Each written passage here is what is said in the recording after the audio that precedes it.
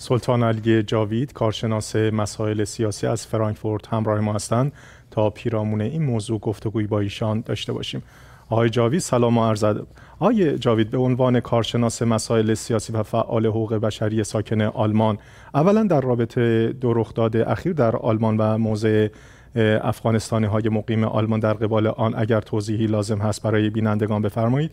و آیا این رخدادها مجوزی برای بازگرداندن همه اتباع آن کشورها میشه؟ بفرمایید. با سلام با سلام خدمت شما و همه بینندگان شما. تشکر. که برای ما فرصت رو دادین.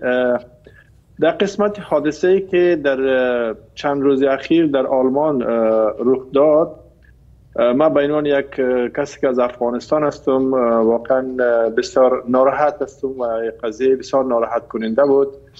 این در حال است که افغانایی که در آلمان زندگی می‌کنن کاملا تحت پوشش و حمایت دولت هستند و به هیچ وجه مستحق همچون برخوردی از طرف افغان اینجا نیست یعنی حتی مستحق برخورد هیچ مهاجری در آلمان نمی باشه خب این حادثه رخ داده و ما باید برمیگردیم به اینکه چرا همچون قضایی در آلمان صورت می‌گیره.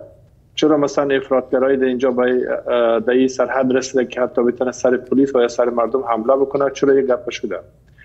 خب ما بسیار ناراحتم از قضیه و در ضمن می‌خوام یک موضوع رو اشاره بکنم که خب یک مغالطه نباید صورت بگیره که دولت آلمان به هیچ وجه نگفته که اتباع افغانستان و یا هیچ کشور خارج می‌کنه بلکه وضاحت رسمی که دولت آلمان داده است که مجرمایی که واقعا در آلمان خطری است اونا رو می‌خواین اخراج بکنن و ای که نام افغانستان و سوریه را گرفته صرف به خاطر است که بین دولت آلمان و کشورها کدام روابط دیپلماتیک وجود نداره.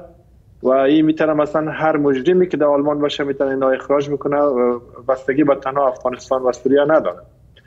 خب مجرم باید قطعا جزا یا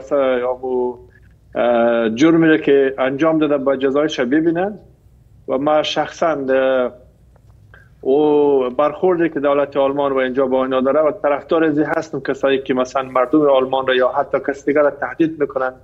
و یا خطری برای مردم است باید نباشند دیگه. ما نمی‌تونیم بپذیریم که مثلا مجرم در اینجا باشه و به خاطر مسائل دیگه. اونا نباید جرم انجام بده.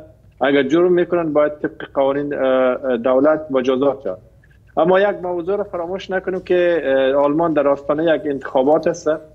حزب راست از این موضوع می‌خواست یک مقدار استفاده سیاسی بکنن که خوشبختانه از طرف احزاب دیگه برخورد برخورد سیاسی صورت گرفت. اینا هم گفتن که با مهاجرینی که مجرم خطرناک هستن می‌خوایم بر بگردانیم چی به سوریه باشه چی به افغانستان باشه. و ما فکر کنم که در واقع اما فرصت که حزب راستگرا می‌خواست استفاده بکنه اینا هم نگذاشت که خوب استفاده بکنه و اینا هم استفاده خیلی کرد. مجددا تکرار می‌کنم که قضیه برای همه مهاجرین و اتباع کشورها نیست. صرف برای مهاجرین و یا کسایی است که تهدیدی برای مردم است و امنیت مردم و